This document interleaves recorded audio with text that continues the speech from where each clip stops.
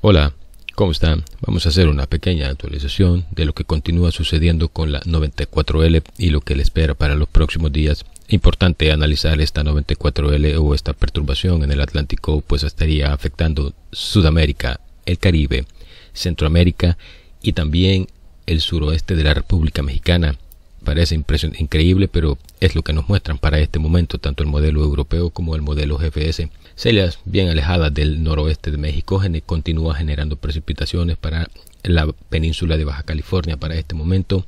También regiones como Sonora, la Madre Sierra Occidental y Chihuahua con precipitaciones un poco más fuertes posiblemente para estados como Veracruz, según podemos ver acá en el infrarrojo. Pero vean, para este momento, si analizamos esa perturbación, la podemos ver acá, cercana ya a las Guyanas, tendría aproximadamente, se sigue intensificando con vientos sostenidos de 55 km por hora y una presión mínima central de 1008 hectopascales.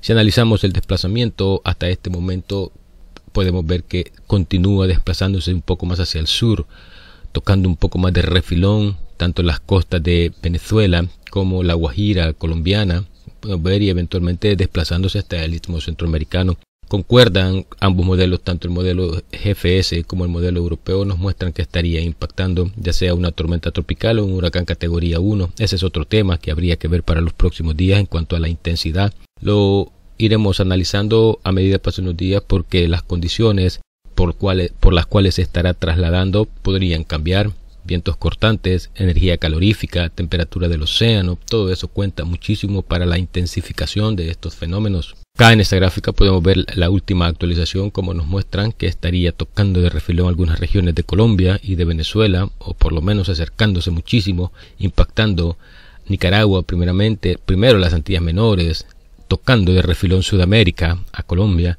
y eventualmente impactando en las costas nicaragüenses, pero eso no sería todo. atravesaría Nicaragua, afectaría en gran medida El Salvador y eventualmente el Golfo de Tehuantepec con mucha precipitación. Esto ha cambiado constantemente y pudiese cambiar una vez más para los próximos días.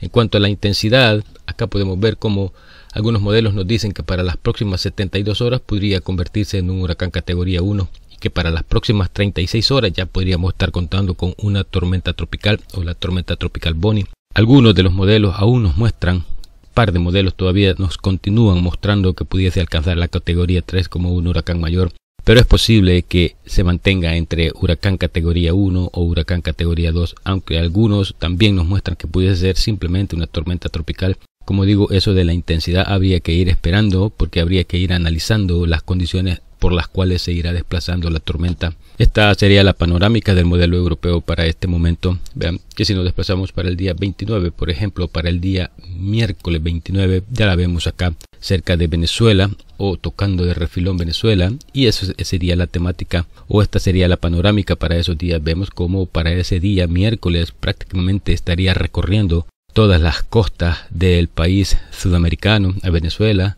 Para el día jueves estaría arribando a la Guajira colombo venezolana a la madrugada.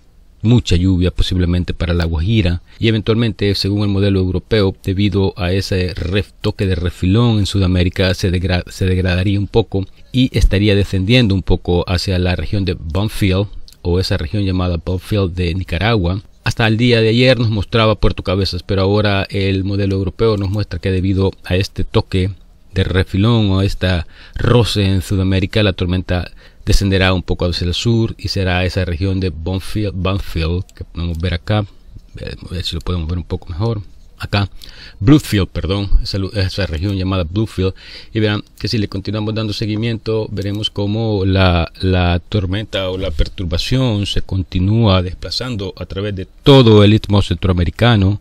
Acá podemos ver cómo estaría impactando en esa región de Bluefield y eventualmente también estará afectando a El Salvador, el Golfo de Tehuantepec, perdón, también regiones como el Golfo de Fonseca, vean, Acá podemos ver cómo para El Salvador habría mucha precipitación, si este pronóstico se cumple, obviamente. Ahí la podemos ver, esto ya sería para el sábado 2, el domingo 3 estaría justo en El Salvador, como podemos ver acá.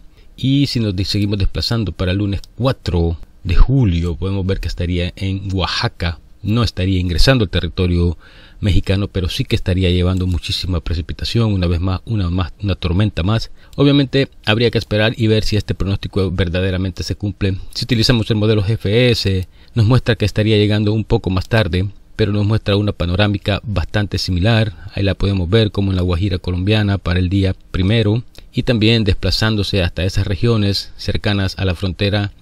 Obviamente este pronóstico puede cambiar, está sujeto a cambios, ya veremos qué sucede para los próximos días, pero como, como digo, como repito, habría que estar muy pendiente en todas las Antillas menores, regiones de Colombia, Venezuela, Centroamérica y también para el sur de la República Mexicana, pues las precipitaciones pudiesen ser bastante fuertes para los próximos días, aparte de todas las precipitaciones con las que ya cuentan con los territorios saturados de lluvias pudiese ser bastante peligroso esta nueva perturbación o este nuevo posible ciclón tropical Bonnie.